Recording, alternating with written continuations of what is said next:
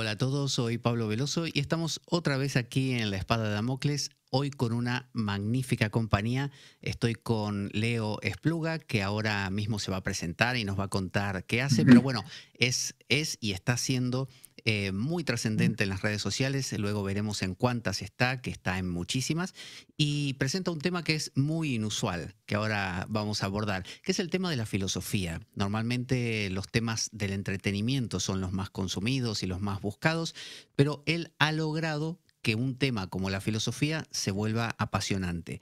Pero el secreto está en que él es el apasionado, él lo que transmite es pasión, que es un bien muy escaso hoy en día, donde la mayoría de las personas viven de maneras tibias y bueno, él lo vive de forma intensa.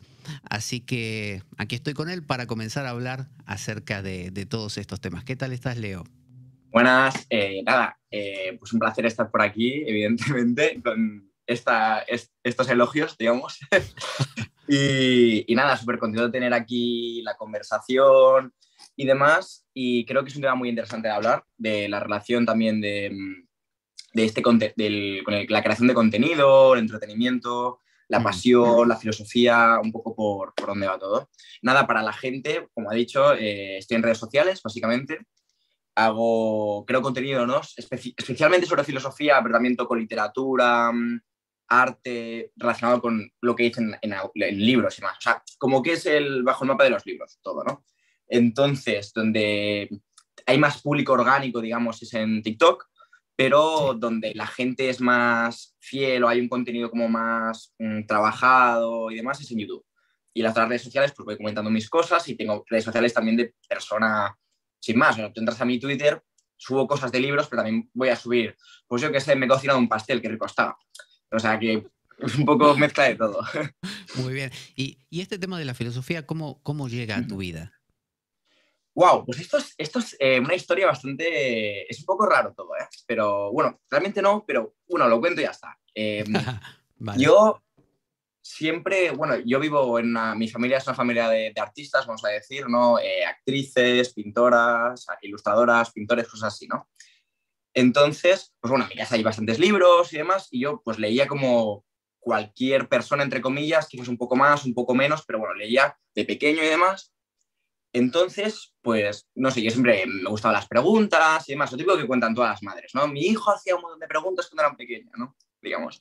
Entonces, como cuando iba sexto, primero de la ESO, más o menos, yo me, en la biblioteca local de aquí de mi pueblo me cogí un libro sobre Sócrates, ¿no? Entonces me leí el libro sobre Sócrates y yo flipé, Sócrates, las frases, tal, un poco así como a modo de divulgación, ¿no?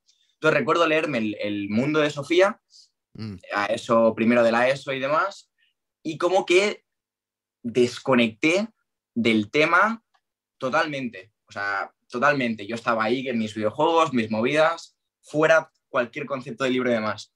Entonces recuerdo una época que me empezaban a expulsar constantemente de clase por malos comportamientos y lo que sea, y en mi instituto había una cosa que se llama la sala de guardia, que es que es, que es el carcelero total, que era una sala con un profesor vigilando que tú te ibas ahí cuando te echaban.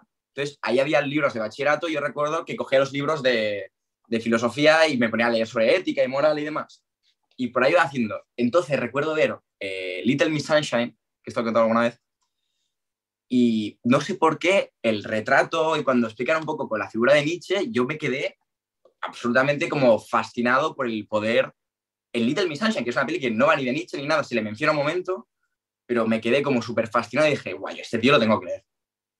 Este tío lo tengo que leer. Entonces lo comento con una profesora y tal, y pues lo, en lo que es ya bachillerato, ya cuarto de la ESO, ya lo, empecé a leer y bueno, aquí estamos. Pero, por ejemplo, tus compañeros en ese momento, ¿qué opinaban de, que tú te interesaras en algo así como Nietzsche? no, yo estaba, yo estaba, zumbado, ya está. Yo era, bueno, el Leo, que está como una cabra, sin más. Sabe, sabe de filosofía, pero está un poco loco. Eh, tampoco, como que nadie le hacía ni, ni puto caso al tema, vamos a ser sinceros, ¿no? Entonces, ya más tarde, la gente eh, yo empecé a estudiar filosofía, y empecé a estudiar diseño de moda. Y ahí ya sí que era como, bueno, este el, el filósofo, ¿no? El, que hace estas cosas y demás. Y la gente como que tiene una relación ambivalente, depende de cómo estén entre, buah, menuda chapa, o, hostia, mm. qué interesante esto. ¿No? Es un poco... Pero, pero ¿qué relación tiene el ser como freak, o sea, el ser el raro, el romper con ciertas cosas y la filosofía? Porque la, filosofía desde la antigua Grecia siempre ha sido un poco rompedora, porque los primeros filósofos milesios, toda esta gente, rompieron con muchas cosas. El propio Heráclito era un raro. Sí, yo creo que bueno, hay, una relación súper cerrada. Nunca la filosofía, como nunca ha tenido el rol de ser algo mainstream ni popular, aunque a veces se nos venda la idea de que sí, no, no es así. Platón no era la persona más conocida de Atenas, era también un friki con su escuela y demás. Mm. Tampoco. Yo creo que una relación bastante cerrada, entre comillas, porque mm, yo creo que el, al final el interés filosófico, yo creo que es un poco interés como cualquier persona que es como fanática de algo. Mm. que no tiene por qué ser necesariamente del pensamiento. Yo creo que un filósofo está muy cerca de un, de un snob, por ejemplo, del cine o de, mm. o de coleccionismo de algo, ¿no? Que es como coger una idea y decir, no, no, ¿esto qué, más tiene, no? yo creo que está, porque está relacionado con el obsesionarse con un tema y rebuscar y rebuscar y rebuscar y rebuscar. Y claro, eso al final te hace estar en unos códigos eh, distintos a la gente que no ha hecho todo ese proceso de, de excavación. Entonces, es lógico que se cree una, distancia que a la vez muchas veces la gente lo disfraza con falsos elitismos, ¿eh? porque mucha gente ya le gusta estar en esta distancia, mm. con un discurso más elitista, y que tampoco está bien, yo creo. Pero para mantener ese nivel de, láser, ¿no? De, estar concentrado, como tú dices, en algo, ya sea en el cine, ya sea en Star Wars o ya sea en, la filosofía, hace falta cierta intensidad. ¿De dónde saca uno la intensidad? Porque fíjate que, como decía yo al principio, no es un bien muy habitual. Tú miras a la gente, está tibia. En el Apocalipsis, perdona que te digo esto, en el Apocalipsis dice, eh, dice, me gustan los, los calientes o los fríos. Ojalá fueras caliente o frío. Te escupo, te vomito, dice, porque eres tibio.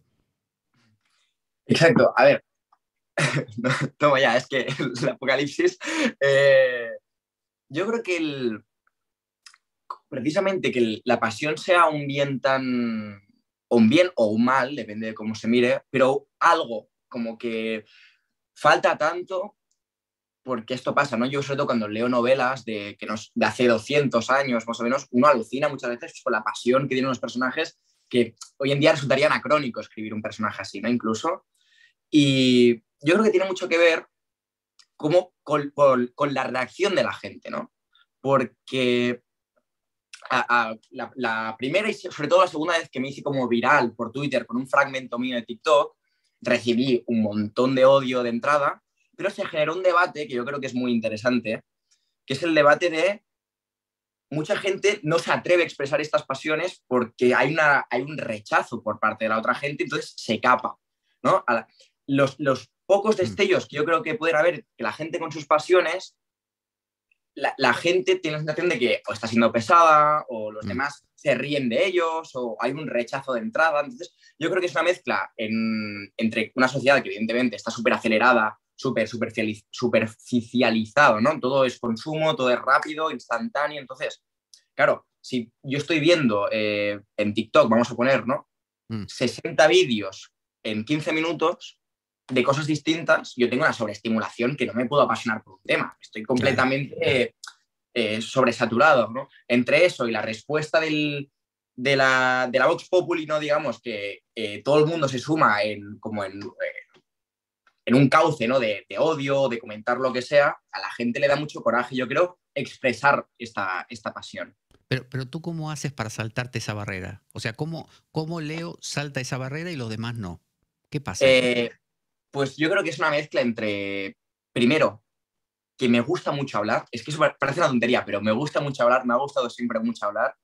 Em, estoy viendo autoestima, que eso es un tema yo creo que es clave en, este sentido, ¿no? O sea, yo eh, tengo no, me gusta verme delante de una cámara, no lo paso mal delante de una cámara. Entonces, claro, entonces este salto ya es como más orgánico, es, no, no es tan, tan extraño, ¿no? Y, y yo creo que esta es como una de las cosas principales y el, y ir una mezcla, que esto me parece que es, esto lo dijo Humberto Eco, ¿no? A la hora de escribir la tesis doctoral, es una mezcla de ser arrogante, rollo, tener un punto de vehemencia a la vez que de, ser humilde. Es una mezcla de las dos, como yo no sé de nada, pero cuando te hablo sí que sé mucho de eso. Es como una mezcla de los dos, de, ser consciente de la ignorancia propia, pero a la vez tener cierta vehemencia y creértelo un poco. Porque, porque si no, claro, nadie va a hablar de lo que no sabe. Como mínimo tienes que creerte que lo sabes, ¿no? Pongamos. Y... Tú, cuando presentas un tema, eh, digamos, te subes a ese argumento y lo encarnas, ¿hasta qué punto? En el sentido de, eh, tú lo defiendes como que este es el argumento porque lo estás transitando en ese momento, acabas de leer el libro y estás empapadísimo y dices, esto es, y la semana que viene otro. ¿Cómo, lo vives eso, ese proceso? Pues es, un proceso extraño, ¿no? Pero, claro, como una esponja, ¿no? Digamos, sí, sí. Y es, es un poco curioso porque realmente es cuando yo estoy leyendo algo y, quiero, y me interesa y creo que es bueno, yo lo vivo, lo vivo yo a fuego con el autor, con lo que me está diciendo, eh, yo qué sé, si, entra mi madre, si lo, lo digo, eh, si me encuentro a alguien, oye, esto, esto es una pasada, esto es una maravilla, no sé qué.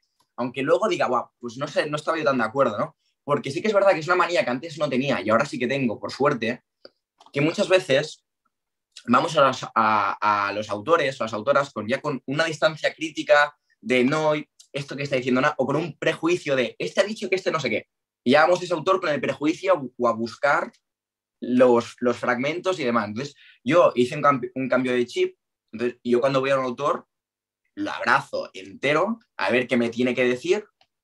Entonces, por eso tengo como esta, esta sensación de, esponja, porque voy sin prejuicios a los autores, a ver qué me encuentro, aunque luego, claro, evidentemente les barbaridades y pues esto no me lo trago. Pero igualmente... Pero ahí Leo, más, más de uno diría, pero si yo me abro como una esponja, este autor podría, como, el creyente que no quiere acercarse a otro que le contradice porque dice, ¿y si me desbarata? ¿Tú no tienes ese miedo que cada autor te desbarate? Estoy aterrorizado. Yo muchas veces estoy aterrorizado. Y, pero de verdad, esto es, esto es verdad. Esto yo lo he explicado más de una vez a, a amigos y más, de que estoy aterrorizado de algún día leer algo que me haga cambiar de opinión sobre un tema fundamental para mí, de, por ejemplo, de derechos o, en relación a algo político o algo así, ¿no? Que algo que para mí es como una línea roja, que de golpe llegue un autor y diga, es que tiene razón. Eso me pasaba mucho con, con Nietzsche, que es un autor que estoy ya distanciado de él, me dio, me obsesionó muy fuerte hace un año más o menos y tal, ya no lo leo y tal, y era muy doloroso leerlo, sobre todo cuando hablaba de la moral, ¿no? De, la moral, de la empatía. Yo lo pasaba muy mal leyendo porque era como ver un espejo, pero muy feo, de, cosas que no quieres cambiar de opinión. Yo no, no quiero creer que la moral es realmente la dominación del... Yo no quiero creer esto, porque yo quiero creer en la moral, ¿no? Entonces, igual que lo paso muy mal cuando leo sobre arte muchas veces, porque yo no quiero eh, en cierta medida me da miedo pensar que el arte realmente es una cosa de lavado de dinero y ya está, y a nadie le importa y que el arte realmente no existe. No, no, hay una parte de mí que quiere creer que el arte existe, que la moral es buena y demás, ¿no? Eh, eh, eso nos lleva a la idea del engaño, eh, pero como algo virtuoso inclusive, ¿no? Porque mm, en la naturaleza, tú sabes, las flores engañan a las abejas para que liben ahí y después acaben llevando el polen. entonces, el amor, por ejemplo, un beso, un beso científicamente va a ser un intercambio de saliva, de feromonas y una serie de cosas. Pero un beso es mágico, es una maravilla y es románticamente una expresión del amor de Dulcinea del Toboso y, el Quijote. ¿no? Entonces, eh, ¿hasta qué punto el engaño, esta cosa de yo sé que, pero quiero creer que? ¿Hasta qué punto eso es algo que es, es importante en la vida de un investigador como eres tú? Yo creo que es más que inevitable, incluso me atrevería a decir necesario. Cuidado, ¿eh? Porque hay, hay ciertos aspectos, ¿no? Hay que. Esto es una cosa que he aprendido leyendo acá. Que los como sí son inevitables y que la propia metafísica, ¿no? O, ciertas ideas, al final, que, que, operan como ideales regulatorios, pero que no son. No se puede llegar ahí, ¿no? Yo por mucho que esté en un proceso, pongamos, ¿no? de investigación escéptica sobre la moral, no voy a ir por la calle o que esté, en, en, mi, con la gente que es eh, el silogismo y demás, creyendo que solo estoy yo en una cubeta, en un cerebro, no iré por la calle y acuchillaré a alguien pensando que es una, una simulación esto. Mm. ¿no? Entonces, parece una tontería, es un ejemplo súper tonto y súper extremo, pero creo que se entiende. O sea, yo puedo no creer en la familia eh, eh, o estar investigando sobre la familia, pero mientras tanto tengo que vivir mi vida y tengo que compartir espacio con una familia y con otra gente que tiene como ciertas... No soy, no, soy Zuró, no me voy a ir al, al, bosque, por decirlo de manera, ¿no? Y el investigador, aparte que yo creo que no, no puedes partir de la nada, siempre tienes que partir con un axioma o por, aunque sea un protoconcepto, lo que sea, pero tienes que partir dando por supuestas algunas cosas e incluso para poder limitaciones, ¿no? Para poder investigar sobre algo también yo creo que debes eh, engañarte en otros aspectos o, quizás no engañarte, pero ciertas ficciones útiles. Entonces, ¿cuál es la relación entre la filosofía y lo que la gente llama la verdad con mayúsculas? Es una relación, es una, es una pregunta, porque la verdad con mayúsculas, yo al final cuando acabo con este tema, acabo llegando a Dios, ¿no? Por decir algo como lo totalmente otro, que no puede llegar y, ya está. Pero al final, la filosofía, hay, hay un libro súper, para la gente si le interesa, y supongo que tú lo has leído, de, mm, de Giorgio Colli, que se llama El nacimiento de la filosofía, ¿no? De que habla precisamente que la filosofía ya, ya no es saber. con, la, con, la, con el nacimiento de la filosofía y la muerte del sabio, ¿no? Entonces, eh, creo que es una, es, una, es una, idea que a mí me gusta mucho y que me, me caló muy, muy, hondo, que quizás la verdad con mayúscula tan solo la posee el sabio, ¿no? O, o la posee el oráculo de Delfos, o la, la posee esta figura, la, la, filosofía ya como parte de, del deseo, por tanto, de eso que no tiene, es un deseo que nunca termina y nunca se cierra, ¿no? No, no hay un cierre, no hay un, no hay un fin de la historia. El espíritu nunca eh, se desenvuelve del todo, siempre se está desenvolviendo, porque siempre se está cerrando. O sea que podríamos decir que tú, que nadas como un pez en la filosofía, tal como decías, eres alguien que jamás puede aburrirse porque no tiene fin el proceso, es algo completamente nuevo cada vez, cada autor, cada, ¿no? Es, es un proceso, yo creo que mm, a mí me gusta mucho pensar en la imagen del espiral, de la espiral, ¿no? Eh, que, que siempre pasas, al final siempre acabas hablando de lo bueno, lo bello, eh, la justicia, los temas son como los que son, ¿no? Mm. Hay un montón de, luego de, hilos, pero, pero claro, cada vez vuelves desde un sitio distinto y eso te, hace... Yo a veces me sorprende de haber he leído sobre algo eh, al mismo Platón 50 veces el mismo tema y dices, y, que, y van apareciendo como perspectivas nuevas constantemente que parecen como inevitables, ¿no? Y es, es fascinante, pero a la vez sí que es cierto que hay ciertos autores ya que más de modo panfleto, que a la que has leído bastantes cosas, hay autores que a mí se me hacen insoportables, porque sí, sí, esto es verdad. Eh, bueno, vamos a decir, eh, bueno, esto es tipiquísimo, pero yo a Byung Chul Han no, no lo... Mm, está muy de Me parece, y lo recomiendo ¿eh? para introducirse en la filosofía. O sea, creo que es un autor que para entrar es genial, pero luego te lo tienes que cargar. O sea, es, entras, te abre las puertas y luego lo echas. ¿no? Pero porque está diciendo siempre lo mismo, ¿no? Y cogen autores que y los transforma en algo que no son y, bueno, en fin. Que, mm. pero sí, volviendo al tema, creo que sí, que es, es inabarcable y eso es algo bueno, no es algo que nos deba desesperar. Porque mucha gente dice, Leo, pero si no vas a llegar a nada, bueno, da igual, ¿no? O sea, tampoco, tampoco pasa nada, porque sí que llegas a algo. Aunque no, la verdad mayúscula no la puedas poseer, puedes poseer pequeñas verdades que ya con eso yo creo que es más, más, que suficiente, ¿no? Muchas veces eh, a mí me gusta hablar con, con, gente mayor y demás, porque te das cuenta de cómo poseen pequeñas verdades, quizás una, mm. dos, tres, cuatro, mm. ¿no? Y es fascinante, ¿no? Porque poseen un, un cristal y un pedazo de, realidad y eso es increíble. Ah, ahora que citas eso, eh, ¿tú piensas que la filosofía solamente es privativa de la gente de academia, de la gente que realmente, digamos, se lee a los filósofos o tú te puedes cruzar con un tipo del monte, analfabeto, que cría unas cabras por ahí y te mira y te dice tres palabras y te parte al medio con una verdad que no sabes ni de dónde la sacó? Yo creo que son las dos cosas, ¿no? Eh, claro, el, el, problema de la filosofía, yo creo que uno de, los, millones de problemas que tiene es que nadie sabe bien bien qué es. ¿no? Puedes leer a mil autores qué es filosofía. Mucha gente te va a decir qué es filosofar, pero no qué es la filosofía, que son cosas distintas.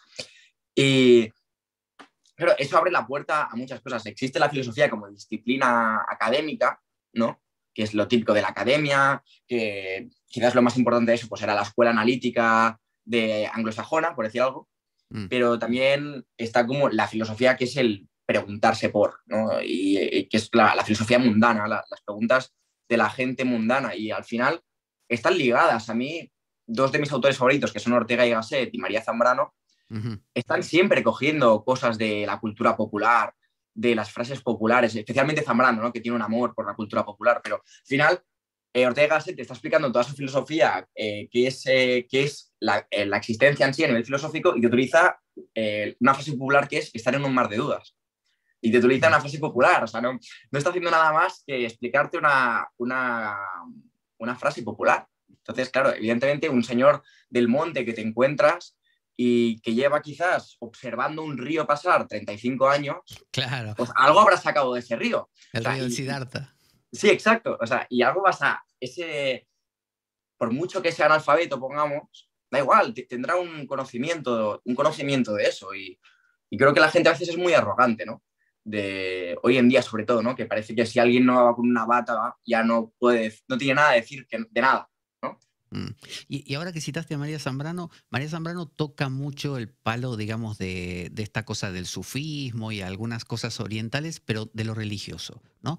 Eh, ¿Cuál es la relación entre la filosofía y la religión? ¿Se tocan en algún punto? ¿Se cruzan? ¿Se enfrentan? Yo creo que están... Claro, esto es un tema un poco polémico, pero creo que están de la mano.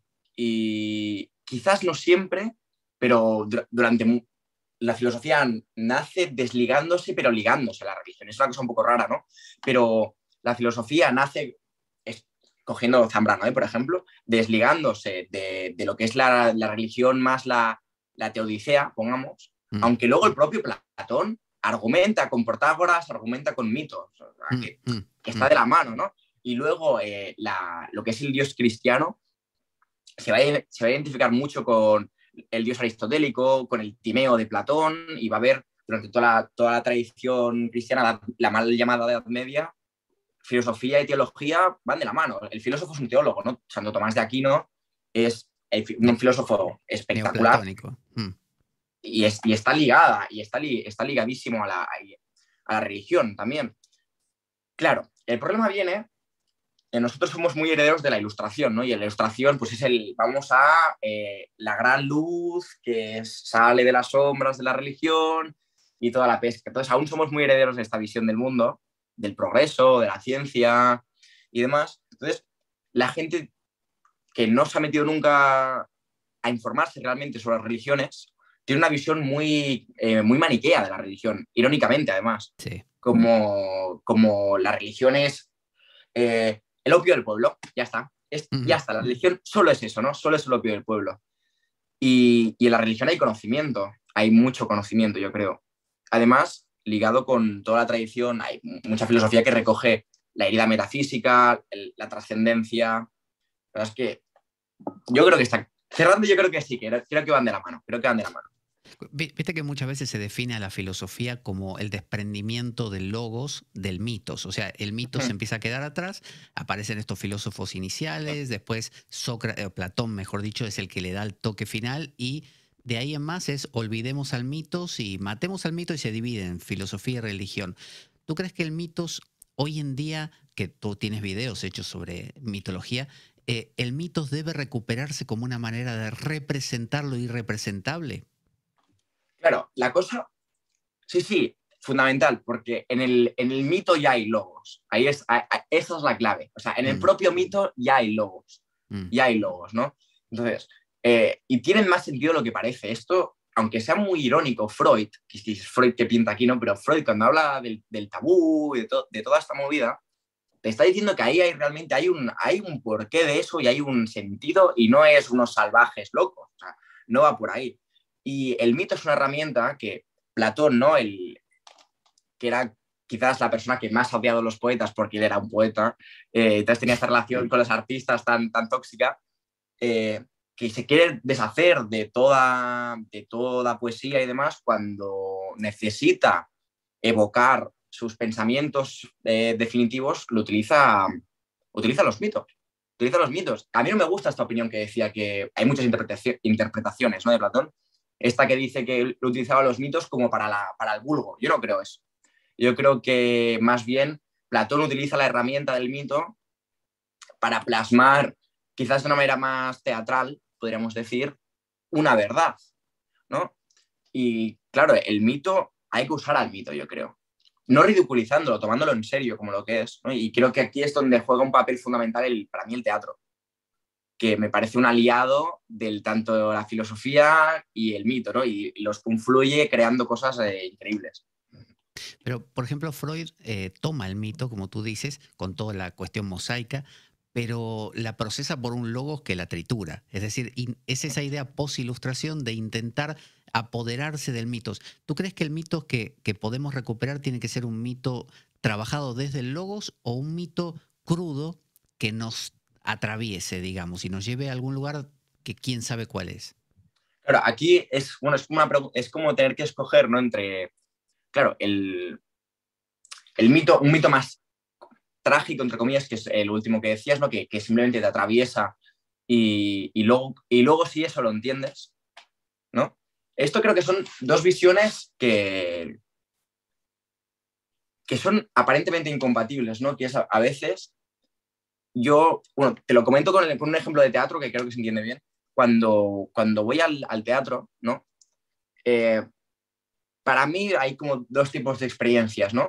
lo entiendo de, una, eh, de unas, ¿no? Como intelectualmente o racionalmente o técnicamente y, por eso me gusta, o me hace, me atraviesa por completo y a posteriori lo, lo, lo desengrano, digamos, ¿no? O, lo, Claro, la segunda yo creo que es mucho más interesante, que es este mito más crudo, ¿no? Que es lo que, Zambrano va por ahí con la razón poética, ¿no? Una, razón que es poética y luego, a ver qué nos quiere decir este mito, pero la creación del mito o el uso del mito es un... Yo creo que es mucho más interesante la, visión intuitiva eh, de la entraña, más que la, de, la creación como in vitro, digamos, del, del, mito. Yo creo que es más, yo creo que es más interesante. Claro, Aristóteles proponía justamente eso, que, exponerse a una obra dramática eh, te cambiaba, te modificaba el, alma. Mm.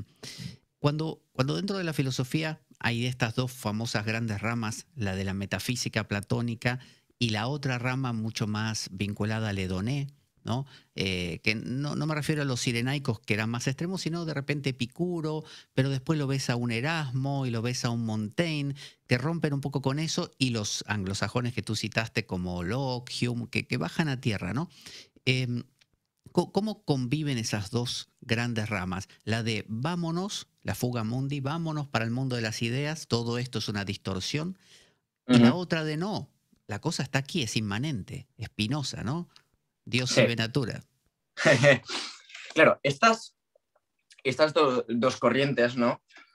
Aparentemente, que son, parecen muy, muy contrarias, tienen, yo creo que hay cierta similitud entre ellas. Parece, porque al final Platón sí que quiere fugar al mundo de las ideas, ¿no? Pero tiene la famosa hay que salvar las apariencias. A la vez hay que salvar las apariencias, ¿no?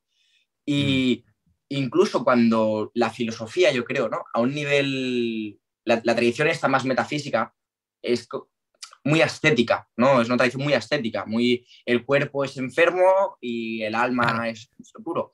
Pero al final yo creo, yo tiraría, en mi lectura personal, podríamos decir, que esta gente lo único que está haciendo es intentar soportar la vida de otra manera, o sea, de otra manera distinta, ¿no? O sea, en vez de... Hay algunos que, que buscan el placer, que, que, es un placer que realmente, claro, porque a, a Epicuro se le está súper eh, simplificado, porque Epicuro no iba del placer tonto, el placer era un placer no, no, no, no, con mucha mediación, muy, de hecho un placer... El cálculo hedónico tenía. Sí, o sea, está muy cerca de, de un estoico en realidad, aunque son muy distintos, pero hay mucha, mucha calma, mucha madurez. Entonces, ataraxia, sí. Claro, una ataraxia pura, de, de, una impertuabilidad del alma, con una visión, con un florecimiento, ¿no? Porque al final claro, eso no está tan lejos de lo que decía Aristóteles, ¿no? De, un florecer de cada uno, calmado, con la contemplación, con la escritura, con el pensamiento. Yo creo que... A ver, perdón, de esto. Sí, el, el problema es que hay es que esta tradición más de la Edoné ha sido siempre muy perseguida. Ha, sido, ha estado perseguida por... No entiendo, no entiendo bien por qué, que hay unas, seguro que hay unas cosas evidentes, ¿no? Porque el propio Spinoza, claro, Spinoza fue, yo de las cosas más heavy que he leído en mi vida es la carta de expulsión a Spinoza. O sea, sí, terrible. Eso es, eso es una barbaridad. Al pobre Spinoza, ¿no? Pero, claro, esta tradición ligada más al cuerpo ha estado tachada de, de bárbara, de, de ostracismo, ¿no? Los bárbaros, eh, algo como alejado del, auténtico saber refinado, ¿no? Mm. Y entonces, ¿qué pasa con ese aspecto? ¿Qué pasa con el aspecto del Edone en nuestra cultura actual? ¿Tú crees que, te lo planteo por esto, mira, por ejemplo, Alan Watts, un pensador inglés, decía que, que en realidad no somos materialistas, porque si fuéramos materialistas, amaríamos la materia, amaríamos las cosas, no las destruiríamos. Somos idealistas, porque vivimos pensando en dinero, que es un ideal simbólico, eh, en fama, poder, logro, éxito, que son todos símbolos, ¿no? Todo es metafísico y nada hay realmente eh, hedónico. ¿Hemos perdido el contacto realmente con la materia a través de esta corriente platónica? Claro. El... Hoy en día sí que es cierto que somos, en este sentido, eh, en, estos términos muy poco materialistas. estoy totalmente de acuerdo con, su afirmación porque valoraríamos otras cosas y actuaríamos de maneras muy distintas. No, no, la gente no haría los sacrificios que hace por la fama, por decir algo, por, por el éxito, ¿no? el, éxito laboral o económico, que es, puramente simbólico, ¿no? Es, está relacionado con... Claro, entonces, la materia en el, propio inicio de la filosofía, ¿no? el, propio Demócrito ya es un, es un materialista, ¿no? Realmente. Él, es, está ligado a, toda esa tradición de la materia, pero como la materia está ligada sobre todo a, lo sensible, a la sensibilidad, a las impresiones, y ahí está este pensamiento que em, los, los, sentidos nos engañan, ¿no? Los sentidos nos engañan. Entonces, claro, hasta que no aparece, yo creo, todo el pensamiento de la conciencia, de la autoconciencia, el pensamiento realmente nos engaña más, incluso. Yo creo que la, que la sensibilidad, ¿no? la conciencia nos engaña mucho, pero como hasta entonces es el pensamiento, matemáticas, 2 más 2 funciona, el teorema funciona, siempre funciona, es universal y necesario. En cambio, mis, mis sentidos me engañan, la distancia, hay alucinaciones, el sol. Entonces, claro, como la materia se, se ha ligado tradicionalmente a los sentidos, a lo de este mundo, a la gravedad que asfixia, ¿no? que aprieta hacia abajo, es como, es algo que hay que usar, es, un, es una herramienta y no, y no, un fin la materia. ¿no? En, nuestro idea, en nuestro imaginario nos relacionamos con la materia, que es el mundo, de manera... Mm, utilitaria. Exacto, puramente utilitaria, como si fuera una herramienta, un medio que poder usar, destruir, maltratar y donde es lo de menos la materia. Claro, eso, eso surge a partir del Renacimiento con este humanismo que empieza a aparecer como somos el centro del mundo eh, y después eh, va generando una herida dura en muchas personas como Helderling, que a ti te gusta mucho, eh, o el propio Nietzsche, que en el fondo son románticos que anhelan el regreso a, esos tiempos preciosos de los campos elíseos y de los dioses. y este mundo se antoja, este mundo industrial, eh, que ellos eh, lo, vivieron también, eh, se antoja un poco frío, un poco duro, y, y hay esa vuelta al mitos, pero radical. ¿Qué, qué opinas de, esta, de estos filósofos poetas al mismo tiempo, los filósofos malditos, ¿no? que, que se lanzan de cabeza a ese mundo por, por despecho? Claro, ahí es, es a mí me parece embriagador, lo primero de todo, esta gente tiene, tiene la capacidad de embriagarte en su, en su mm, eh, locura lúcida, por decirlo de alguna manera, pero claro, hay que ser conscientes de que ese pasado no existe. O sea, es la famosa edad de oro que decían los griegos, que no, nunca ha existido, ¿no? Es, mm, es un mm. pasado que es un mito, es el gran mito. O sea, ese pasado, esa Grecia, la Grecia de Holderlin y de los románticos, es el gran mito, porque esa Grecia no existió. Pero, pero, tú, hablabas del engaño necesario también. ¿Hasta qué punto ese engaño? La usan de como ideal para generar, gestar una nueva, una, nueva sociedad, ¿no? Al final, lo que dice en el, propio Hiperión, de, de romperlo todo, crear algo nuevo, ¿no? Una, una vida ligada a la vida claro, es que es eso. Hay, un, hay una herida descomunal que yo creo que nosotros hoy en día la sentimos quizás más que ellos, mucho más, que la herida de que uno se da cuenta que la vida no tiene nada que ver con, con bueno, la, existencia está muy desligada de la vida, ¿no? Eh, hoy en día, entonces, claro, eh, es una cosa que se va a ir amplificando más y más y más y más y más, pero va a ser un, eh, creo que exponencial, esta desvinculación Mm, de, de, este Zaratrusta, ¿no? De, este andar, de este, de este viaje, de este peregrinaje más que viaje. Mm.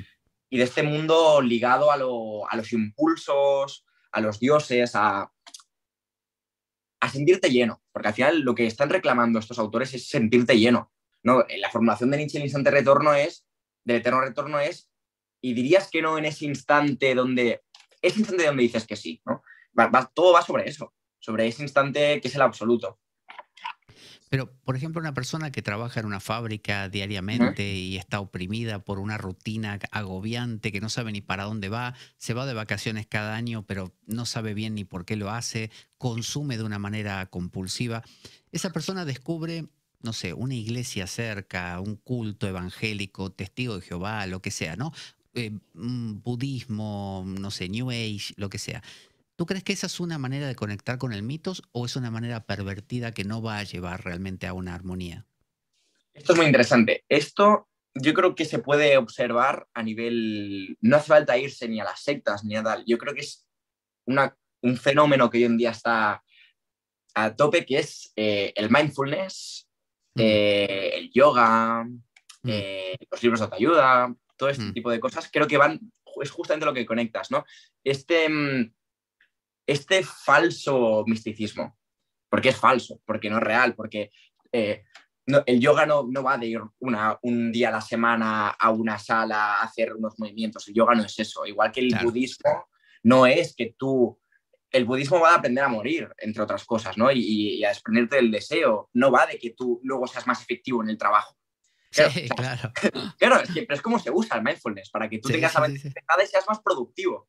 Es, es, es, el diablo, para mí eso es el, el mal, es, el mal. Y creo que es, un, es la perversión absoluta del mito, absolutamente, porque funciona como un fármaco, funciona como, como algo que te permite seguir como una pequeña, como si hay un sistema ¿no? que te va generando cortes constantemente y son pequeñas, Sí, y son pequeñas vendas que te vas poniendo para poderte seguir cortando. Ahí está, eh, eso es lo que lo hace perverso. ¿Y cómo, se rompe ese ciclo Foucaultiano eh, tan eh, dedicado o orientado a la industria, ¿no? a la producción, al, ciudadano que produce? ¿Cómo se rompe eso y se entra en el verdadero misticismo? Claro, es, es una, esto es muy problemático, yo creo, ¿no? Porque quien te diga que tiene el verdadero misticismo yo creo que te quiere engañar. O sea, claro, es, algo así como, eh, eh, no, yo conozco el verdadero... Yo creo que es un, ante todo es un viaje personal, ¿no? La relación con lo místico es una relación muy personal, muy... Tiene algo siempre, un carácter siempre inefable, ¿no? Todo lo místico tiene un carácter muy de como, como una línea que se ha cruzado, pero no puedes expresar lo es tiene este carácter inefable, ¿no? Como decía Wittgenstein, esto de los límites de, mi lenguaje son los límites de mi mundo. Claro, pero la gracia del misticismo es que te está diciendo, no, no, hay algo más que tu mundo, lo que pasa es que no lo puedes expresar, pero ahí está la naturaleza. No, tiene para mí no le quita valor que sea inexpresable, precisamente le otorga cierto valor. ¿no? Y, por ejemplo, mi, mi, relación con todo este mundo más místico y demás Mm, que, siempre es un acercamiento más intelectual, podríamos llegar a decir, como algo que simplemente me interesa y ya está. Yo no me lo tomo nunca muy en serio nada. ¿no? Me, lo tomo todo, todo, tan en serio que en realidad no me lo tomo en serio. Ahí está la gracia.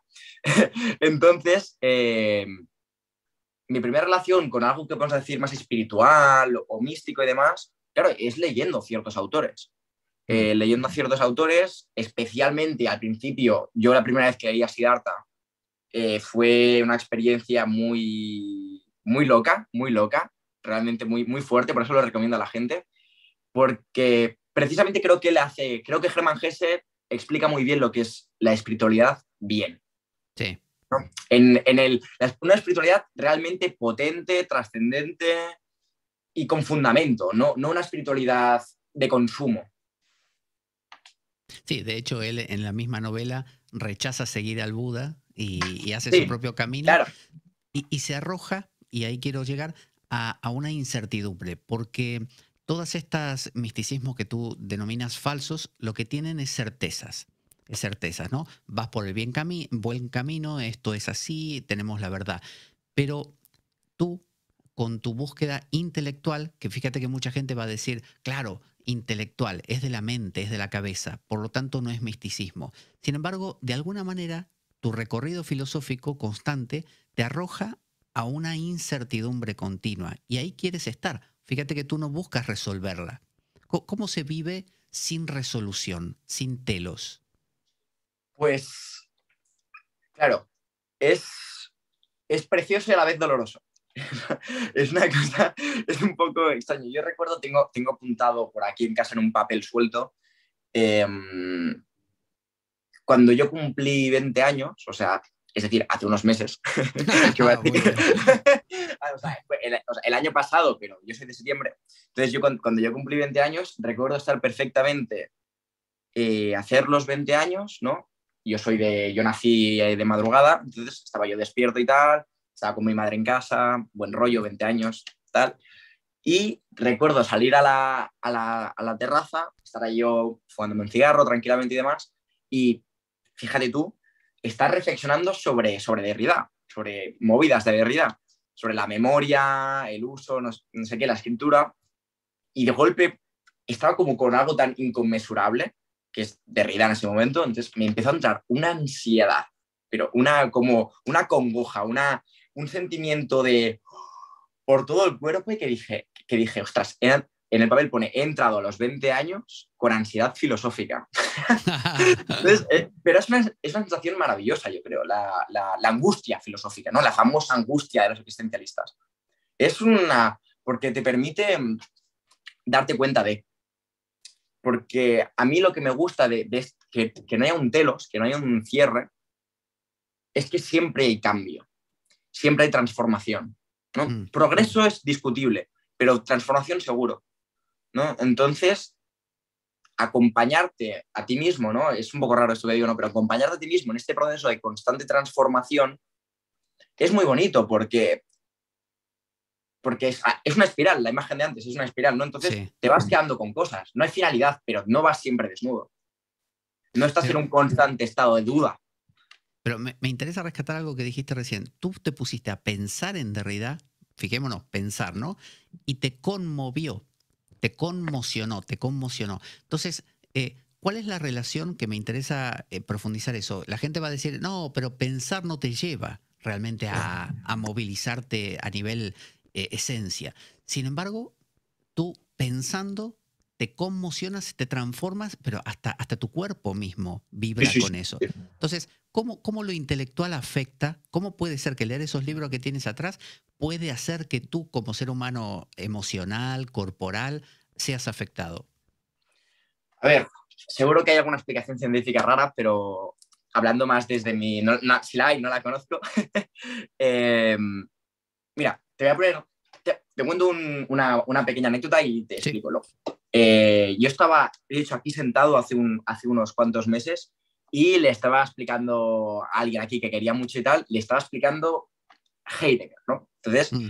yo estaba ahí, bueno, estaba más que explicando Heidegger, estaba hablando de, de, las grandes figuras del pensamiento de la tradición alemana, ¿no? De lo que va siguiendo y tal. Entonces, llega un punto donde llego a Heidegger, estoy explicando y yo me pongo a llorar, o sea, y me, me puse a llorar explicando a Heidegger, o sea, tú imagínate la situación rocambolesca yo explicando por qué la ciencia no piensa mientras, mientras me pongo a llorar con el ser para la muerte y todo, ¿no? claro, hay una afectación porque, al menos yo, cuando me relaciono con, con, estas figuras, ¿no? con el saber, vamos a decir, o con la pretensión de saber, o con, con la búsqueda del saber, que son la filosofía, con los libros, por ejemplo, que es el medio que más eh, consumo, podríamos decir, palabra fea, pero que más utilizo, mm. es, hay un formato de diálogo, siempre. O sea, yo tengo un diálogo con el, con el texto. Estoy teniendo un diálogo y el diálogo me apela y yo le apelo a, él. O sea, hay, un, hay un reflejarse, ¿no? Hay, hay un descubrir recovecos de ti y, y demás. Entonces, claro, cuando tú luego te relacionas con el mundo, hay una faceta desconocida que ahora aparece. Y claro, evidentemente yo creo que, creo que tiene una relación fisiológica. El propio eh, Nietzsche en sus escritos, en diarios y demás, él explica que cuando él estaba escribiendo el Zaratustra, el Zaratustra él tenía, él, la gente sabe que estaba muy enfermo siempre y tenía unos dolores impresionantes y vómitos, pero durante el periodo de, de redacción del Zaratustra, él estaba, bailaba, dice que estuvo en un estado de salud eh, absolutamente increíble. Sí. Y luego se enfermó de repente otra vez. O sea que yo creo que sí, hay una, hay una relación muy directa con el pensar, que no es, el pensar no es algo frío. No, no creo que sea, sea algo de probeta necesariamente. No, no, yo identifico el pensar más con el sol que con una luz de fluorescente, por decirlo de alguna manera, ¿no? Porque tú escoges sobre qué piensas. Entonces, por, de alguna manera eso te apela a ti lo que tú piensas... Pero, ¿qué crea la diferencia entre el que piensa y es simplemente un pensar de probeta que no lo conmueve, que no lo conmueve, y tú que al pensar en el ser para la muerte te emocionas? ¿Por qué tú te pues emocionas con el ser para la muerte? Claro, la, ¿qué diferencia hay? Mm. Pues quizás yo creo que es de la relación que hay con el propio saber, por decirlo de manera, ¿no? Con la relación que hay con el conocimiento, con el, en mi, caso, claro, es, es sobre todo una sensación de lo sublime, ¿no? De, horrorífico y bello a la vez. A mí me pasa eso, por eso me emociona tanto todo esto. Y por eso los autores que, no se atreven me cuestan más de leer. Me, o sea, me resultan más eh, mm, pesados, más arduos, me los leo igual, aunque sean más fáciles. ¿eh? eh yo, por ejemplo, un, de las mayores que más aburrido me he sentido en toda mi vida es leyendo a Zygmunt Bauman. Es, leyendo modernidad líquida yo creo que es de las veces que más me ha aburrido. Y es interesante lo que dice, ¿eh? Pero o Hegel, también. No, con Hegel todo lo contrario. Con Hegel, en cambio, ah. aunque es mega complejo, mm, mm, a saco. Porque se atreve, aunque se equivoque, aunque sea... Eh, tiene este toque de vehemencia que decía antes que yo me atrevo, ¿no? Y entonces, al intentar eh, la relación con lo inconmensurable, yo creo que es lo, que me emociona. y es lo... Tú, lo que dices es que tienes algo eh, que es susceptible de ser movilizado, ¿no? Y encuentras en los libros el elemento que moviliza eso, que emociona. Entonces, podríamos decir que cada persona tiene, algunos será el heroísmo, para otros será, no sé, eh, otras cosas, que estos autores están a disposición para tocar como teclas de piano y emocionar a uno u otro según como sean. Sí, sí, fundamentalmente, porque, claro, esto es, el, lo que antes sacabas a Aristóteles, pues claro, es el, concepto de purgación. De, Es una catarsis pura y dura, es una catarsis pura y dura. Y todo el mundo tiene sus catarsis y de conceptos distintos, ¿no? Yo, mis mayores catarsis han sido por una parte eh, del pensamiento y otra vez sin. O sea, yo mis dos experiencias así más, más grandes que he tenido catárticas, de verdad, que yo creo que se identifican con la revelación, con, con, algo que se te es, con el velo que sale totalmente, eso es, para mí es la catarsis, han sido pues en una, cero pensamiento, viendo el sol, cero pensamiento, y la otra, puro pensamiento, o sea, que parecen antidéticas, ¿no? Pero, mm. pero cada uno es evidente que tiene sus teclas y una cosa que, de la cual hay que estar, yo creo, protegidos o más bien con advertencias, es de la falsa catarsis. De, eh, es una cosa que creo que hoy en día está muy, muy presente o quizás lo ha estado siempre, pero con la sociedad del espectáculo, con... Adorno no dijo, por decir algo, que Walt Disney era el hombre más peligroso de Estados Unidos, porque sí, digamos, ¿no? Entonces, este producto, ¿no? Que te suministra esta catarsis, esta falsa catarsis, este, esta lágrima buscada o este esta falsa mm, emoción, mm. te está haciendo más mal que bien, porque no es una catarsis transformadora, sino alienante, que es la perversa otra vez, ¿no? Porque no es una catarsis que te saca el velo, sino que te pone otro más grande delante. ¿Y hay un miedo a, esa catarsis real? O sea, ¿lo elegimos a Walt Disney porque nos previene, nos protege de aquello otro? Claro, aquí hay, hay, dos cosas, ¿no? Por una parte, no creo que lo alejamos. o sea, hay, toda, hay todo un mecanismo para que veamos a Walt Disney, ¿no? Por decirlo manera. Y por la, por la otra, por el otro tienes, eh, es así, claro, evidentemente, hay, hay, un miedo a la auténtica transformación, porque es lo de antes, una catarsis te puede hacer cambiar algo que no quieres que sea tocado. Mm. Evidentemente hay... ¿tú, dirías que, que vives como, como, buscador, como filósofo, eh, sin miedo a la locura, entendiendo la locura como ese locus, ese lugar al que puedes llegar y te puede arrojar todo esto. ¿Tú tienes miedo a caer en algún lugar incierto? Claro, es una, mm, más que un miedo, es una tentación. Esto es un poco extraño, ¿eh? pero, pero fascinación. Es, sí, exacto. Hay miedo por dos partes, por terror y por fascinación. ¿no? A mí, estas figuras, ¿no? las eh, el más señalado de todos, ¿no? es el ejemplo perfecto. Claro, cuando uno lo lee ¿no? y ciertos escritos y ciertas cosas, uno se da cuenta de qué le escoge eso. ¿eh? La gente dice, se volvió loco. No, no, no, no. Se fue a la locura, pero él era consciente hacia dónde iba y no, y no, no echó el freno de mano. O sea, no es que de repente tiene algo patológico que, él no lo quiere y, mm, mm. y, entra en la locura. No, no, él la busca y se adentra en ella, igual que todos los autores de la bohemia se, adentran en la perversión y perversión por decirlo de alguna manera, ¿no? O Claro. Entonces, claro, tengo una relación extraña porque por una parte me fascinan, eh, siento fascinación pura y dura por esta gente que es capaz de, de entrarse en la locura, ¿no? Con, en frase de Nietzsche, ¿no? Esta gente que mira tanto al abismo, que el abismo se les mete, se les, les acaba mirando, porque esto pasa, esto a, esta, a estos autores les pasa, pero a la vez creo que es una relación de tensión, que es algo muy propio de la filosofía es algo muy platónico en realidad, la relación de, tensión entre la oralidad y la escritura, entre eh, la verdad y, la verdad. hay una relación de tensión constante, ¿no? Y la locura juega un papel fundamental, ¿no? Es, eh, Deleuze precisamente, él eh, dice que el mayor enemigo de la, de la filosofía es la estupidez, ¿no? No es tanto, es la estupidez. Entonces, el filósofo es aquel que está a medio camino entre el estúpido y el loco y la gran tentación del filósofo es volverse loco, de hecho. Entonces, el, filósofo es aquel que transita la locura sin volverse loco, eh, que, es capaz de entrar pero salir siempre, ¿no? Porque mm. a mí hay imágenes que me hacen que como fraternales, que a la vez me gusta pensar, a mí me, gusta pensar que hay ciertos autores que han hallado, la calma, la tranquilidad, eh, que no se han quedado siempre inmersos en, ese dolor y ese sufrimiento. Mm.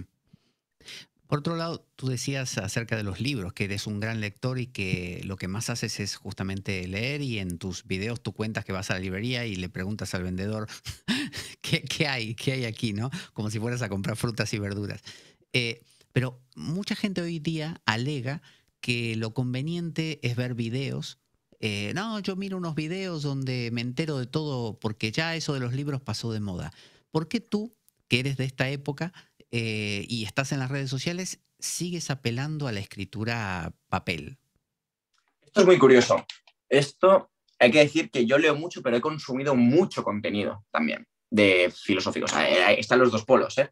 Pero ¿por qué sigo creyendo en los libros, digamos? En el objeto, porque además yo creo en el objeto, ¿eh? Yo no creo ya ni en el Kindle, no, no, yo creo en el, si puede ser, en el objeto, a poder ser. En corpus. Pero, porque creo que tiene algo que lo demás tiene, pero bueno, eso ya ¿Por qué creo la escritura?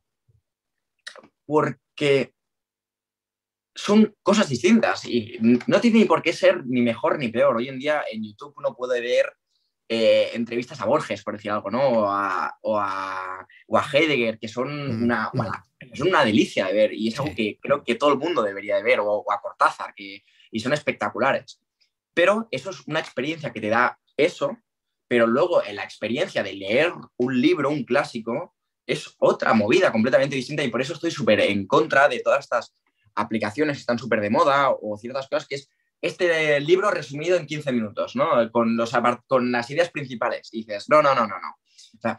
La, la, gracia de, por ejemplo, Kant, que es que estás, está la iPad encima de la crítica de la razón pura, eh, por eso lo digo todo el rato que lo tengo aquí delante, no tiene nada que ver leer la crítica de la razón pura con leer, con ver un esquema sobre la crítica de la razón pura o de un vídeo de alguien que te explique la crítica de la razón pura. Porque es otra cosa completamente distinta porque en la crítica de la razón pura te das cuenta de la tensión que comentaba antes del autor.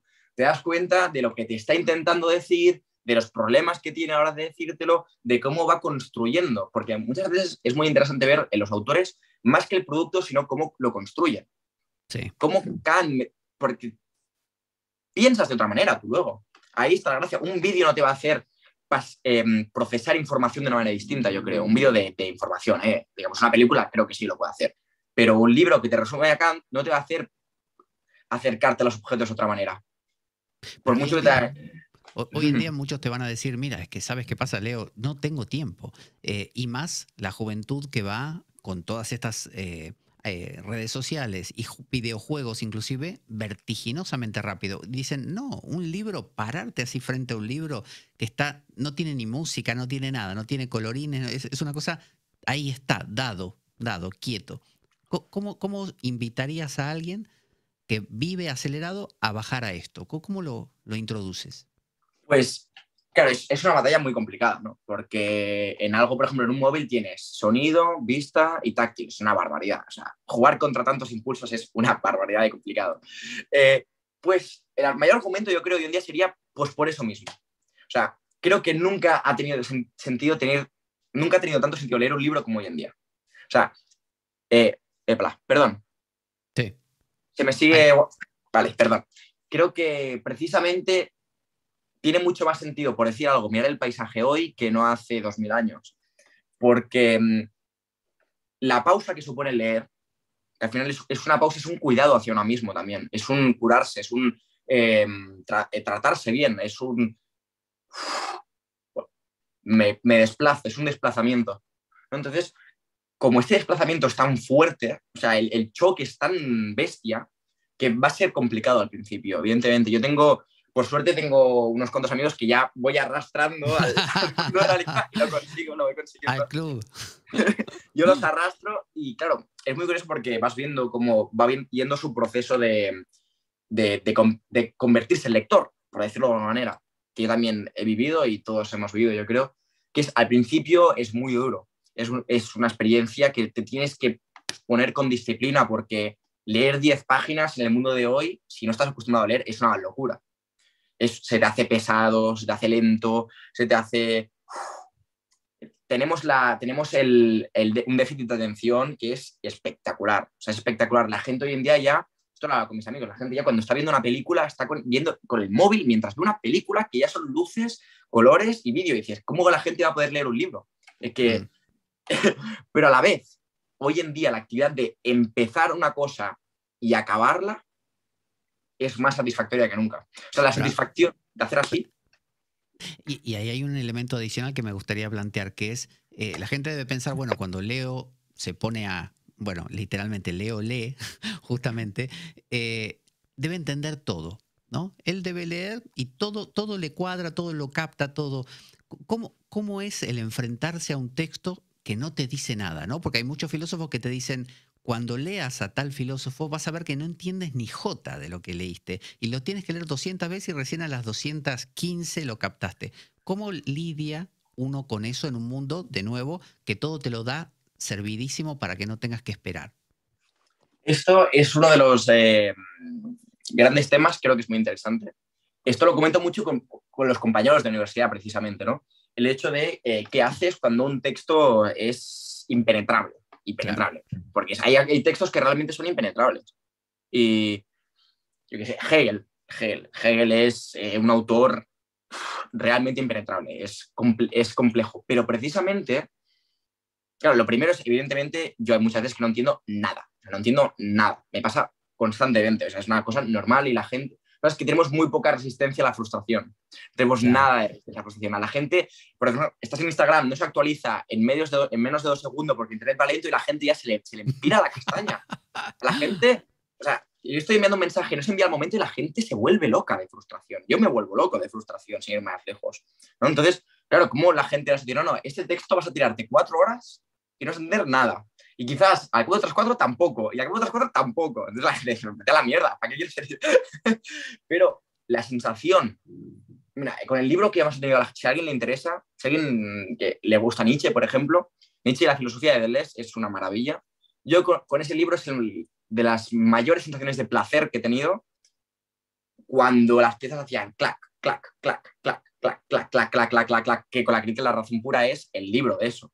De, es súper complejo, te, tienes que esforzar mucho, tener tu glosario, currártelo, pero cuando lo entiendes, o lo vas entendiendo más bien, porque nunca lo entiendes del todo, cuando las piezas empiezan a encajar, es un placer, es un placer que creo que tiene analogía quizás también con el, como comentabas, el mundo del videojuego, ¿no?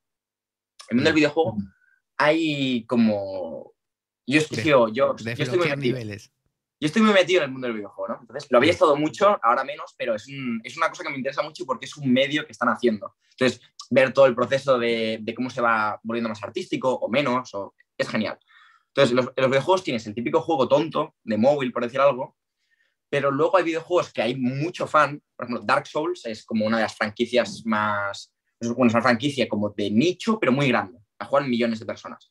Y es un juego que va de eso, va de la frustración va de, eh, ahí vas contra un, te vas a enfrentar a un enemigo y quizás te tienes que enfrentar 150 veces, 70 veces, 50 veces para pasártelo. Y es frustrante. ¿Y la gente por qué lo juega? Por la sensación de he superado el desafío. Sí. De me he esforzado y tengo una recompensa. Pues el libro es lo mismo.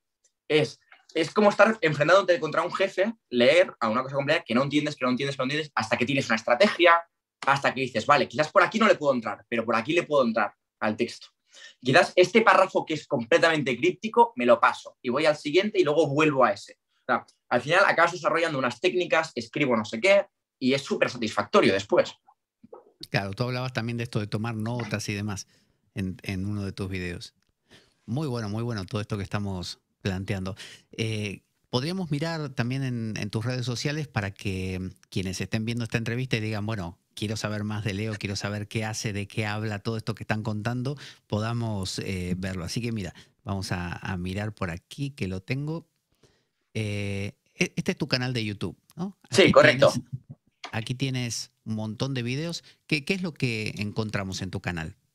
Uf, pues hay un poco de todo, pero esencialmente que últimamente me estoy centrando sobre todo en un, nuevo en un formato de vídeo que es como lo más disfruto que escoger, eh, como el último vídeo, que es sobre el libro de Idea de la prosa de George Agamben, ¿no?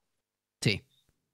Cojo un, un, libro que me ha interesado, que creo que es interesante de comentar, y voy cogiendo y me hago una estructura de distintas cosas y comento, comento cosas, leo una parte del texto y, y empiezo a, reflexionar sobre ese tema, ¿no?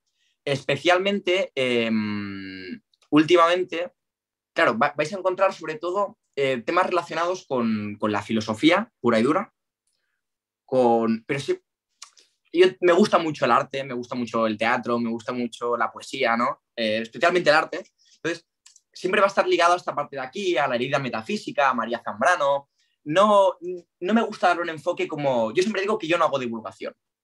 Esto es una cosa que me gustaría dejar clara, porque mucha gente, Leo, si haces divulgación, no sé qué, no, no yo, a mí me gusta pensar que no hago divulgación, que yo comparto lo que te he dicho antes, yo comparto mi camino, mis reflexiones, mi viaje, lo que me parece interesante, pero yo no divulgo, yo no divulgo, yo no pretendo, yo pretendo que se entienda lo que quiero decir, pero es lo que has dicho antes, mi fuerte es la pasión, no es hacerte un contenido súper didáctico, súper esquematizado para que tú veas un examen y lo apruebes.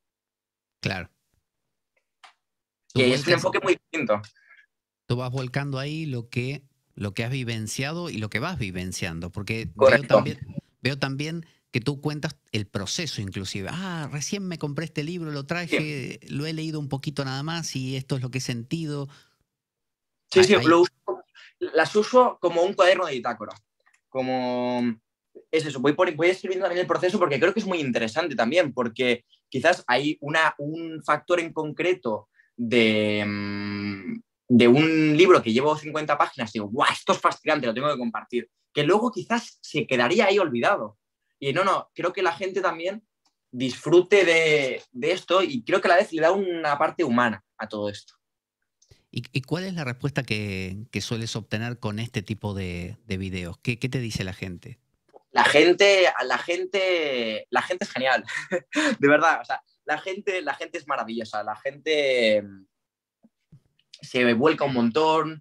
Eh, a la gente le, gusta mucho y sobre todo hay muchos comentarios de, ostras, eh, esto me ha apasionado o me has hecho interesarme sobre este autor, voy a leerme algo suyo. Hay, unas, hay un feedback súper positivo. Cuando hay el feedback negativo, cuando la gente se vuelve imbécil, vamos a decirlo, vamos a decir las cosas como son, cuando la gente se vuelve irracional y empieza a decir barbaridades, cosas auténticas barbaridades, es cuando no ven vídeos, es cuando les sale un fragmento por ahí y ya van sesgados, cuando en este tipo de cosas no hay casi comentario negativo. Y eh, viendo la cantidad de libros que tú vas mostrando y cómo cuentas que vas a la librería y compras libros, actualmente debes tener cantidades de libros ahí en las paredes de tu casa. A ver, sí, la colección. Mira, ahora estoy, ahora estoy por desgracia, antes, eh, ahora no estoy currando, ahora tan solo estudio y hago estas cosas y tal, pero antes trabajaba y estudiaba y tal, y me gastaba un dineral. Me gastaba un dineral en libros que, lo cual me parece magnífico. Y antes tenía afición de comprar ropa y la cambié por comprar libros. Y creo que es lo mejor del mundo porque no tengo sensación de culpabilidad cuando me compro libros. No, no, es, la única cosa que cuando la compro no me siento culpable porque sé que la voy a, la voy a utilizar. Y mm, me parece increíble, la verdad, tener los libros. Y hay una cosa que me gusta mucho, que mucha gente dice, ¡buah, pero te los has leído todos! No, no me los he leído todos, todos, evidentemente que no, evidentemente que no. Eh, tan solo me no me los leo todos, pero da igual eso. Eh, la cosa es, había un autor que decía, que no recuerdo quién es, que a lo mejor una buena biblioteca o una buena librería en casa, lo que sea, es esa que cuando vas a buscar un libro, el mejor libro es el libro de al lado. Claro. Entonces, claro, yo tengo... Epa. Sí, sí, sí. digo, de, consulta, un lugar donde tú puedes acceder a consultar lo que necesitas en cada momento. Es, exacto, es un sitio donde donde al final es mi identidad que también está ahí. Eso también hay que tenerlo en cuenta. Yo me relaciono con él. Yo hago como una especie de, fuerza de como, de, como hay una mímesis ¿no? con, mi entorno. Y, y, esos libros me conforman en, parte y en una parte bastante fundamental, que eso puede ser algo malo también, pero... Y me gusta tenerlos ahí, me gusta consultarlos, que es lo que has dicho. Me gusta tenerlos que en cualquier momento voy, lo cojo y, hay algo nuevo que, que aparece en mí, ¿no? También, Leo, ocurre, te hago esta pregunta, de manera eh, sinérgica el, avance en esa lectura, porque tú me decías, yo no me los leo quizás de principio a fin. Hay una especie de, camino en espiral de nuevo, de que tú lees un pedacito de este autor, un trocito de aquel, y vas conformando eh, puzzles poco a poco con todos esos trozos, como diciéndole a la gente, mira, no es que te tienes que leer uno, terminarlo y empezar el otro, acabarlo, empezar el otro, sino que puedes estar leyendo cinco a la vez, dejarlos, volverlos a retomar. ¿Es así en tu caso? Yo funciono así. También por. Eh, también así también por el tema de, la universidad ¿eh? y de ciertas lecturas obligatorias y ciertas cosas, pero de normal, claro, yo siempre tengo un libro de poesía empezado, otro de otra historia, uno de filosofía y si son temas distintos, otro de sociología. No tengo ningún problema con hacerlo, incluso varios a la vez. Porque cada, libro también es un mundo, ¿eh? y hay que entender eso. Hay, que, hay libros que no lo permiten y hay libros que lo permiten. Y hay, leer fragmentos está bien, siempre que tengas en cuenta que es un fragmento. Cuidado. tampoco vayamos a. siempre que funcione como fragmento. Yo, por ejemplo, cuando en los momentos así más más ajetreados de mi vida, y yo sé que hay mucha gente que hace esto, eh, cojo libros y libros, ciertos libros. En mi caso es saco eh, el, el, el Asiago Zaratustra, la Biblia y el I Ching. son tres libros que ¿esto qué es? No? Pero cojo uno de estos tres libros y hago así, ¡pam! Claro. Y leo una cosa, ¿no? Entonces, y es un fragmento realmente, pero tiene, tiene una utilidad como fragmento. Y aunque y el I Ching no lo hago con el juego del I Ching ni nada, o con cojo un trozo suelto y, a ver a ver qué me quiere decir, ¿no? Te lo digo porque mucha gente tiene la culpa de que es que no me lo leí entero, ¿viste? No me leí, no sé, el prólogo me lo salté y después la introducción también, eh, hay un capítulo que no me gustó mucho y le da culpa. Y eso realmente no pasa nada, es, yo creo que es bueno, es, es, es, lo mismo, ¿eh? es un equilibrio, porque también hay que, hay un cierto, hay que haber, hay, tiene que haber un cierto rigor, yo creo, no es, no es la primera de cambio abandono, ¿no? Porque por eso ahí, ahí está la disciplina. No hace mm. falta tampoco eh, volverse un sádico con uno mismo, ¿no? Es, claro, es un equilibrio entre las dos cosas, entre realmente aguanto un poco, porque hay que, hay que aprender a aguantar ciertos libros, especialmente si son muy largos, ¿no? Eh, Dostoyevsky hay partes que se hacen pesadas, pero siempre acabas libre y ha valido la pena. Siempre ha valido la pena, ¿no? Yo creo. Pero sí que es cierto que la gente tiene esta, esta sensación de culpa que yo también tengo muchas veces, ¿eh? con no acabarme los libros o, o que, es, que es horrible. me estoy quedando sin batería, voy un momento por el cargador, ¿vale? Sí, sí, vale, vale. Estamos aquí mirando el, el canal eh, de Leo, que tiene un montón de vídeos de, de distintos autores. Vemos aquí con San Agustín, por ejemplo. Él pasa desde de, las antípodas de, estos autores, desde los más a veces racionales a los más poéticos. ¿no? Él es un gran lector de, poesía, justamente. Le gusta mucho, como decía, Zambrano, Helderling. Em, y bueno, también desarrolla gente como Giorgio Agamben, eh, aquí está hablando de San Agustín, pero también teníamos la Divina Comedia en este caso, hablando de, Dante, un gran poeta, pero a la vez un gran filósofo. Em, aquí del teatro, como nos contó también que tiene su, su raigambre artística familiar. Creo que por eso también aparecía aquí esta imagen, debía ser también... ya estoy por aquí. Ah, eh, Sí, sí, estos cuadros son de mi abuela, son de mi abuela. Ah, vale, vale, vale. Y es tu estudio, es el estudio donde pinta. Muy bien. También tienes aquí tu Twitter. Sí, correcto. Sí, en Twitter comparto, es, un poco, mi Twitter es un poco, extraño, pero si a, si a, la gente le interesa sobre todo em, fragmentos o, cosas de, em, de libros como más concretos, oye, subo muchas fotos y esta frase me ha cautivado, no sé qué. Es una mezcla de eso y yo quejándome de cosas eh, y riéndome de otras. Es un poco raro mi Twitter, pero es eso. Mira, esto, esta es la, en la librería, precisamente. Ah, te, te hiciste que te sacaran fotos No, no, no, fueron sin querer, ¿eh? O sea, fueron, fueron, no, no fueron buscadas. Fueron, estaba yo consultando unos libros de, mm, aquí, sobre arte, estética y demás. Y Esto es Leo en el templo. Aquí está en el templo. Sí, correcto. Aquí es donde yo voy a sufrir. Adorando a los dioses, ahí está. Muy bien, muy bien. Entonces, bueno, el Twitter de, Leo, que es muy fácil, vamos a ponerlo aquí arriba, que se vea. Eh, sí, Leo es pluga en todos los lados. O sea, tampoco. En todos los sitios, el mismo nombre. Muy bien, muy bien. Eh, tenemos, como habíamos hablado, el TikTok, que aquí son fragmentos que Leo siempre dice eso de que eh, a veces el, fragmento traiciona porque uno toma un trocito e interpreta algo, es como algo sacado de contexto, se vuelve, como dicen, un pretexto. Eh, sí, sí, sí, sí, Aquí es donde es, es el sitio más em, polar para mi TikTok, ¿no? Porque es donde me llega más gente. Con diferencia, tengo TikToks sobre Kant con 700.000 reproducciones y auténticas barbaridades, así 100.000 y 200. Locura, unos números, una mm. barbaridad pero a la vez es donde me sirve para que la gente luego vaya a ver los vídeos enteros, que es el objetivo. Y hay mucha gente que le gusta y le interesa, pero a la vez, como son fragmentos y llega como muy, mucho público que no tiene por qué estar metido en este mundo, es donde recibo más, eh, es donde recibo, no es, que sea más, es donde recibo principalmente la mala, la, mala vibra de la gente. Es aquí. Es, verdad, es verdad. Es, es, es, un sitio que me ha dado muchas alegrías y me da muchísima beneficios, pero es, es en el lugar donde ignoro más los comentarios y demás.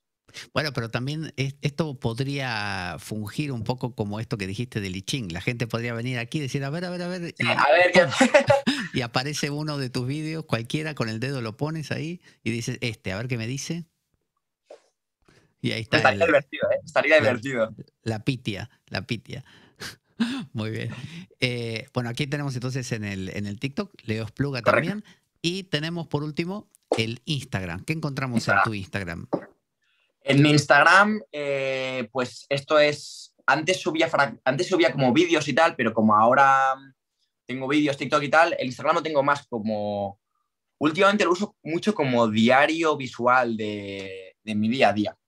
No subo, subo posts siempre con muchas fotos de, desde yo, eh, literalmente estando feliz eh, con el sol, a eh, yo, porque me guapo. ¿Te gusta, ¿te, gusta, el tema del sol, que, que, te sacas bastante con el sol? Me encanta, me encanta, me encanta, me encanta el sol. Aparte vivo en un sitio de costa, entonces claro, aquí el sol es, bueno, el, sol es, el sol es media vida. Entonces claro, pues subo... No puedo decir lo mismo, yo que vivo en Asturias. Ya, aquí, ya, ya ves, ahí es gris. Aquí es gris. No, pero, pero claro, y subo cosas así. Eh, también lo que me hace un poco, pues desde, desde libros que en las historias subo cosas sobre libros, eh, hago consultas, subo cosas, a cosas que me parecen bonitas, yo que me veo guapo, eh, esta foto que de este concierto que me ha hecho feliz, es un poco, un poco locura. Muy bien, muy bien. Así que bueno, Instagram, TikTok, tenemos Twitter, tenemos luego aquí su canal de YouTube, que es donde Leo nos dice, aquí es donde uno puede encontrar la cosa completa, ¿no? Más cabal. Eh, sí. Eh, y tienes para elegir. Y además es interesante para la gente que nos gusta las cosas largas, eh, que son largos, ¿no? Porque, sí, sí. Al, principio me daba cosa, ¿eh? Pero si te fijas, cada vez son más largos. Sí, es verdad, es verdad. Mira, los primeros, mira, 10 minutos, 12, 10, 15, acá tiraste unos 26, 30, pero acá arriba ya tenemos una hora 47. Eso es un directo, ahí hay excusa, ¿no? Pero los demás, 43 minutos, 40, 41, ah, que ya esto ya es vía libre, porque es donde me lo paso bien. Muy bien, muy bien, muy bueno, muy bueno. Aparte que yo consumo este tipo de contenido. Yo lo que consumo son vídeos largos. Yo solo consumo vídeos largos en YouTube. Yo solo consumo conferencias, vídeos realmente, porque pienso, digo, a ver, si entro un vídeo sobre Kant y dura cinco minutos, ¿qué voy a sacar de aquí? Nada, absolutamente nada. Entonces, pues claro, me meto en vídeos siempre. Yo, todos los vídeos que, que miro tienen como mínimo 30 minutos por ahí.